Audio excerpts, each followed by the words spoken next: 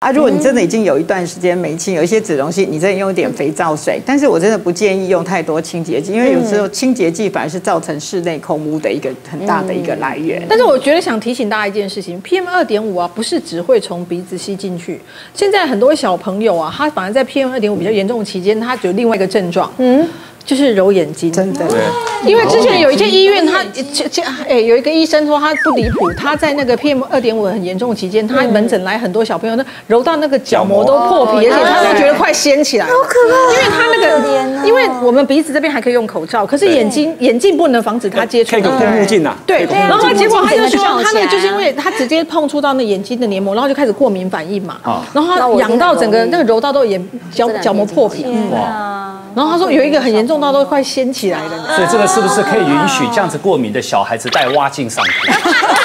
不是，就是减少他在户外暴露的时间接触。对，所以这个又要呼吁这个相关单位。你看，这其实你说呃，这 PM 点五的指数到了七十八十，只爆到不行了，对不对？嗯。可是规定停止上班上课要两三百。嗯，对啊。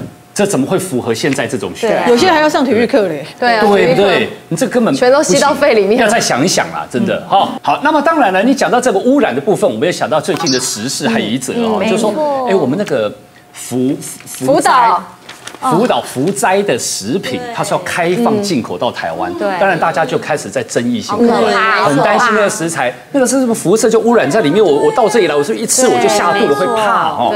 所以如果受到了辐射污染的食物，我们检测得出来吗？其实现在的一些检测哈就已经都是很完善。那其实我们的原能会也有这样子的一个检测啦。嗯。但是最重要就是说，哎，他要去抽验它。那呃，我我们国内好像现在已经都有一些定期的抽验哈。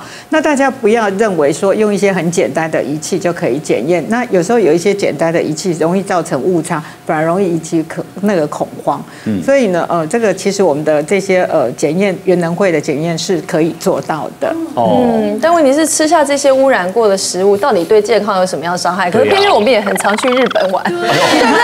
我们去日本玩不是也都吃日本的东西？怎么可能不吃它的的干贝？那好像它的什么？对，就会觉得那到底吃下这些东西对健康的伤害是什么？其实大家对辐射的害怕哈，一般来说啦，其实辐射的伤害分作急性期或慢性期啦。一般来说，这个。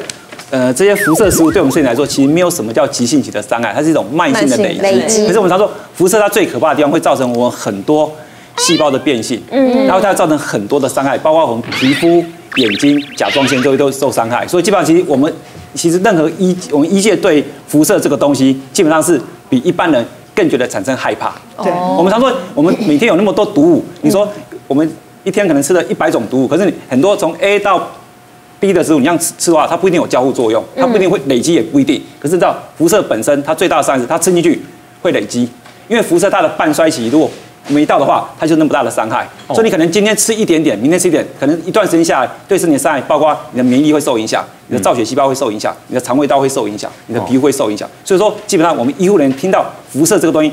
如果一产生污染的话，我都告诉大家，基本上这些东西真的都不要碰，不要吃，否则对你的身体的伤害，而且是你没有办法用很多方式去把它排掉它。哦，真的没有解药，没有解药。那你刚刚说，除非过了半衰期啊，对，半衰期是大概多久？嗯，基本上看不同的放射的物质，对，那基本上最近看统计这一些的话，它可能半衰三十年，有人半衰期是可能好久，对，三十年，对，像最近流行的什么四啊一三一一三七的话，它可能就是要这么久的时间，哦，就是很可怕在这边地方，因为都对放射性物质从最早以前发现，管什么铀二三五啊、钚二三九，可以拿来做什么？做原子弹。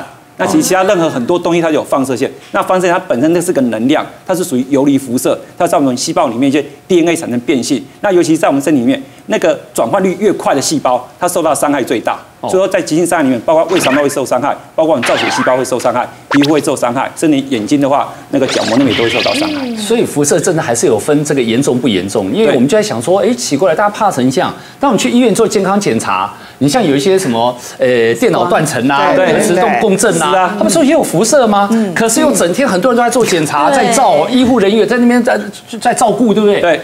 所以它那个是其实差很多的，是吧？呃，应该这么说，我们一个人能够接受到这些辐射的铺射量，原国会有个设计说，我们一年可以接少多少多少的单位，一般它是以叫做毫西弗为单位。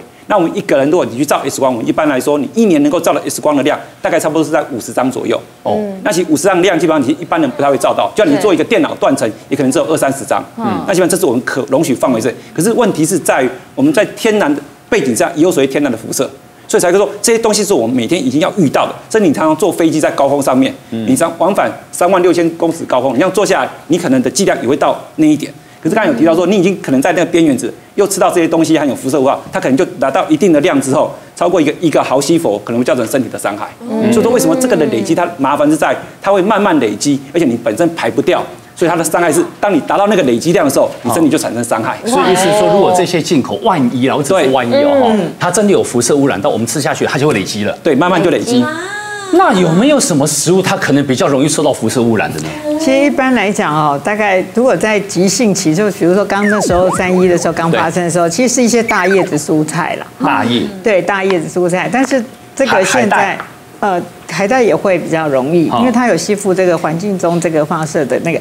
但是坦白讲，现在呃有一些东西是比较担心的，就是水产嘛。嗯。然后过去抽验比较长、比较不合格的就水产呐，然后菇类还有茶叶。嗯。那这些野生的东西，哎，有的就没有这个监测，会比较担心。还有茶叶，茶叶会。对。那水产的话，只要在水里面，任何鱼虾、花小型鱼比较 OK，那是两个壳的贝类会比较担心。